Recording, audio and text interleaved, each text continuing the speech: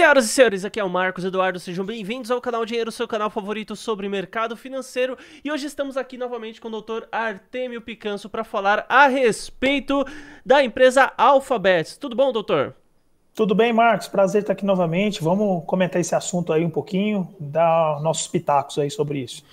Tá certo, doutor. Então vamos lá. A Alphabet é uma empresa que trabalha aí com a questão de aposta esportiva e tudo mais.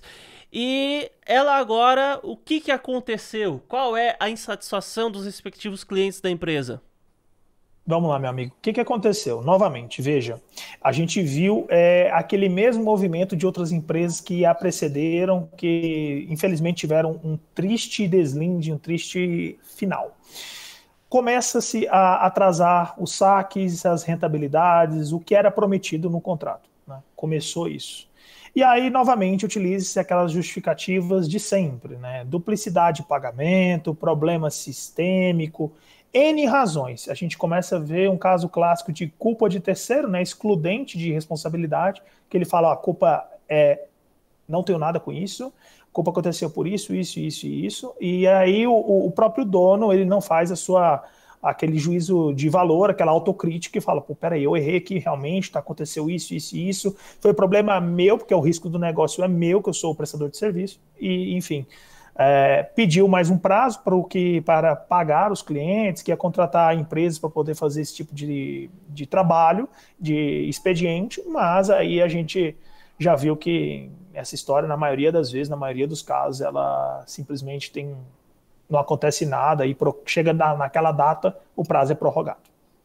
Doutor, e é, qual, qual é o tipo de negócio que a Alphabet oferecia, a rentabilidade, é, como que fun funcionava isso? É algo muito diferente do padrão que a gente vê de investimento hoje no mercado financeiro? Como que é? Bom, é um, é um valor muito alto, né, ao nosso sentir, mesmo no mercado não ortodoxo, né, que a gente fala, que é o mercado financeiro tradicional. Como você bem disse, ela mexia com trader, trade esportivo, apostas esportivas, né, que era o que falava, tinha ali uma suposta licença, um, algo que fazia isso funcionar de forma automatizada, gerando potenciais ganhos, e o rendimento era de 1 ponto alguma coisa a 3%, arredondando aí, Nossa, né, muito expressivo, né? 1 a 3% por dia é, uma, é um absurdo de lucro isso daí. Poxa, se a gente for considerar Sim. juros compostos, então, meu Deus do céu. É muito é, dinheiro. Exatamente. Os, tanto o composto como o simples, o composto é mais assustador, né? O simples ainda é, é, é assustador tanto quanto, mas o outro já chega na esfera de, de impossibilidade.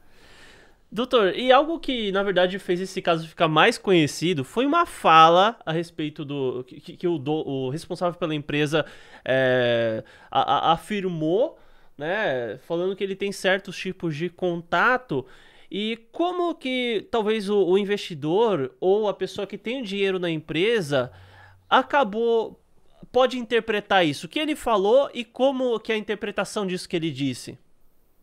Bom, para mim, nada mais é do que até uma ameaça. O, o, o, tom utilizado foi um tanto quanto áspero, né, com os clientes, as pessoas que confiaram a ele, né, os seus, os seus investimentos. E assim, é, eu, não, eu, eu, eu, desacredito nessa ideia, né, desse tipo de contato privilegiado. Por quê? Ele, ele falou que tem é, contato com a polícia, né, e ainda com integrantes do governo, é isso mesmo? Foi o que foi falado, mas assim, uh, isso eu desacredito novamente. Por quê? É bem simples a situação.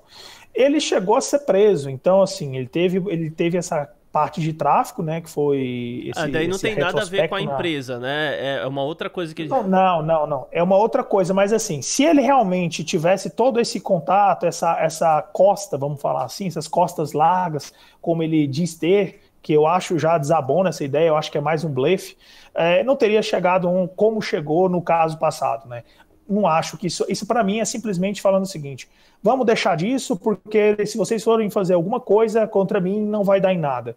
É mais um discurso para dissuadir as pessoas de irem atrás do que é seu, ou de denunciar, ou de procurar é, é o Poder Judiciário, ou o que quer que seja.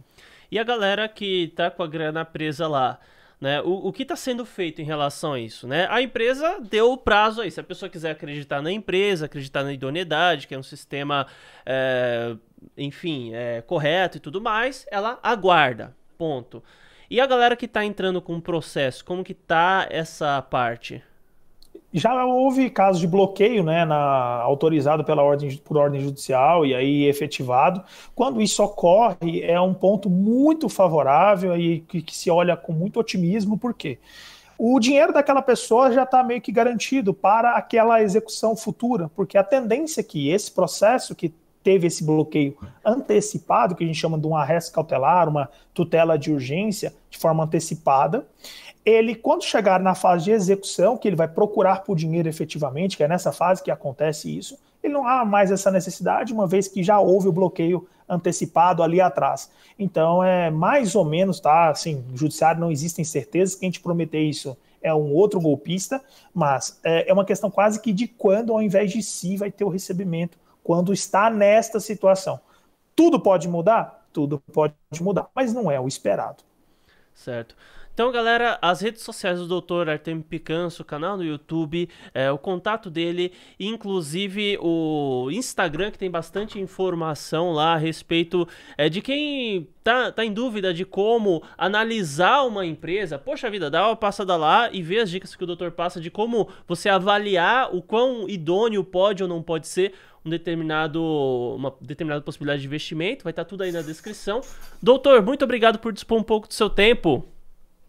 Obrigado, Marcos, novamente por estar aqui. E precisando, meu amigo, para a gente ajudar as pessoas nesse sentido, estamos à disposição, sempre tentando esclarecer e evitar com que é, as pessoas não caiam em golpes. Então, galera, muito obrigado por ter assistido. Espero que o material tenha sido útil e até mais.